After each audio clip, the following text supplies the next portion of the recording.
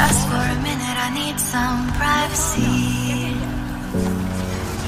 Headset off and stretch her neck out. Down the rocks to her head, safe house.